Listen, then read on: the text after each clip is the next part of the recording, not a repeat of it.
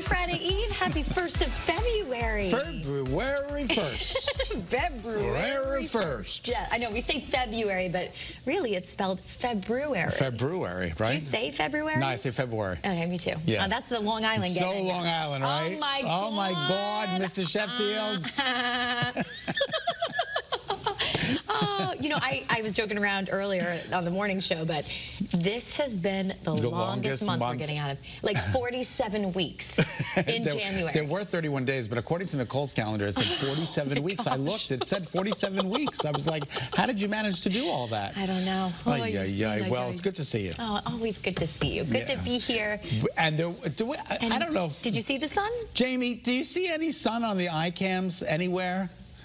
Can you show that? I don't even know. If, look, oh, look, look, that, that, wow. that that what it orb. looks like? It's an orb in the sky.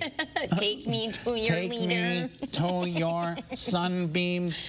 Oh, look at that in okay. Hartford. Okay, all right. the sun in. Yeah, we're expecting kind of mostly cloudy skies during the day today. Feels like Thanks, we're in Jamie. San Francisco, doesn't Uh, it does. Lately, like 10 days of sun. First alert live radar. It's scanning the state dry. Good morning. Now, Futurecast gets a little interesting overnight tonight through very early tomorrow morning. We promised you all week that there was a chance of precipitation in the seven-day forecast. It's coming tonight very late through early tomorrow morning. There's a little rain at midnight tonight. Now, watch as the temperatures drop. We might see a little bit of snow. Now, this is very minor. It's not significant. We just want to bring it to your attention. Third shifters and you and I, Nicole, we're going to be driving through a couple of raindrops and a couple of snowflakes. Hmm. And then it scoots on out. By 8 o'clock, it's pretty much done with a couple of rain or snow showers expected through the late morning into the early afternoon. And then watch the clearing take place. That's the action we're expecting for the upcoming weekend. Today, enjoy temperatures in the low 40s. It is going to be an unbelievable forecast, mostly cloudy, milder today. Isolated rain and snow showers tomorrow, as I just showed you with Futurecast. And then Saturday, brighter. Finally, brighter weather with temperatures a little bit cooler than tomorrow, but still, nonetheless, above average. The normal high for this time of year is about 36 degrees. Yeah, that's going to be really nice this weekend. Yeah, I, I expect you to take a walk on the beach. Done. Done. With I- Ringo. And I want a Ooh. picture. Okay, All right. I'll send it to you All right, Saturday. very good. Well, it seems a race that seemingly never ends is never ending. Bridgeport mayor candidate, uh, mayoral candidate John Gomes is refusing to end his campaign. Yeah, despite calls from city councilors and even Governor Lamont, Gomes has announced that he will appear on the general election ballot as an independent.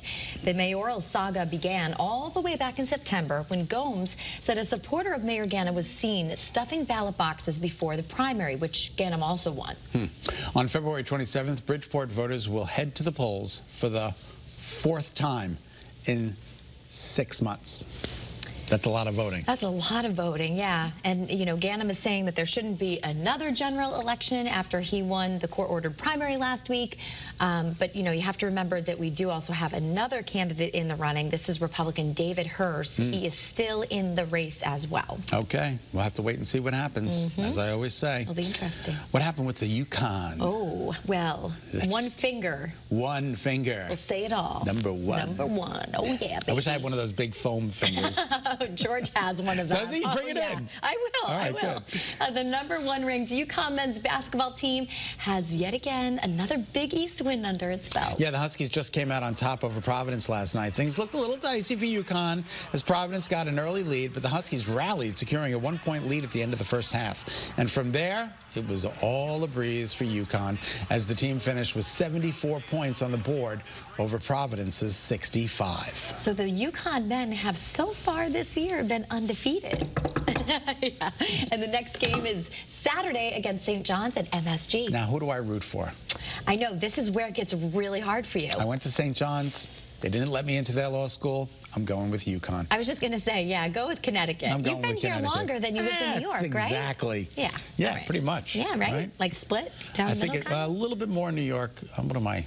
I've been here 20, 25 years. Oh, so, you're inching towards the halfway mark. I am mark. inching towards the halfway mark. Wow. You got a pretty big birthday remarkable. coming I'm up almost next a. Connecticutian. Is that what they call it, Connecticution? I just made that word up. or a nutmegger, I A guess. A nutmegger. Yeah.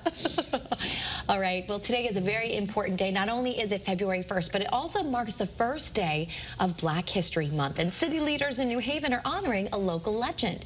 Check this out. Judge Constance Baker Motley will now be appearing on the 47th Black Heritage Stamp.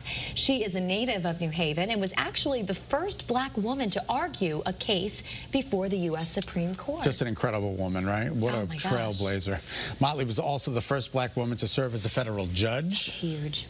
Huge. I mean, just an, an incredible accomplishment. She So went to Columbia Law and graduated in 1946, and she wrote actually the original complaint in the case of Brown uh, versus Brown Board of v. Education. Education. Yeah. That was a huge, huge, Huge case. I, I didn't realize that she wrote the original complaint. Isn't that amazing? Did you know that? No, I didn't know that either. I'm just Wow. so, uh, I was reading the script. Motley died in 2005 at 84 years old. God rest her soul, and she's being remembered today. Yeah, a trailblazer there in the civil rights movement. Absolutely. So- and it's so nice to honor her by way of a yeah, stamp. I think it's terrific. And this coming Saturday, there's a rugby team that will be taking their annual plunge for hunger in Willimantic. Yeah, so the Liberty Bank Surprise Squad, they wanted to spread some kindness to the folks behind the event who are winning by giving back to their community. Here's Channel 3's Irene O'Connor with the story. Every year, dozens of people take the plunge into the frigid February water at Lauter Park. Started by Ray Aramini, the rugby coach at Eastern Connecticut State University.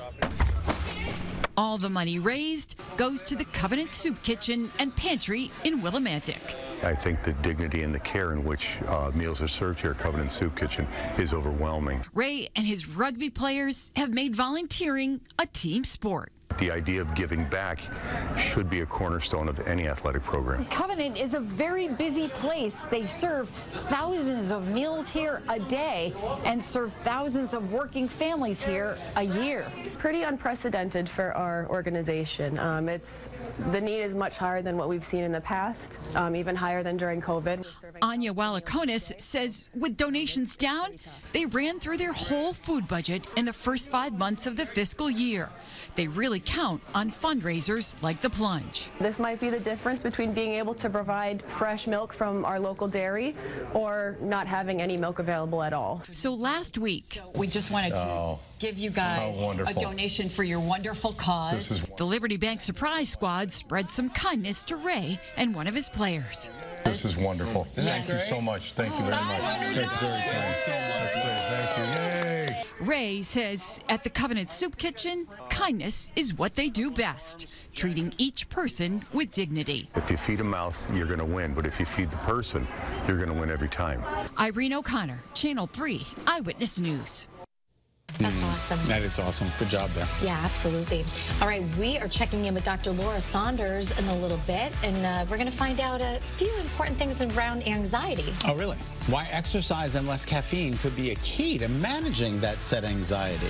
Hmm. You're off the calf. Got to get moving. Got to get moving. we'll be right back.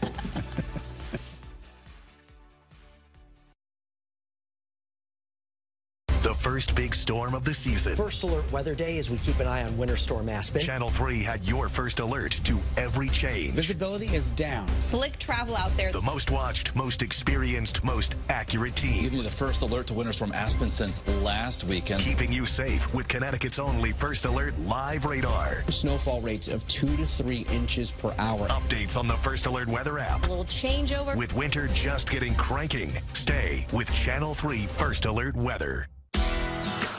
Freight knows skill is important because on any given day, we're all mechanics, carpenters, fixers,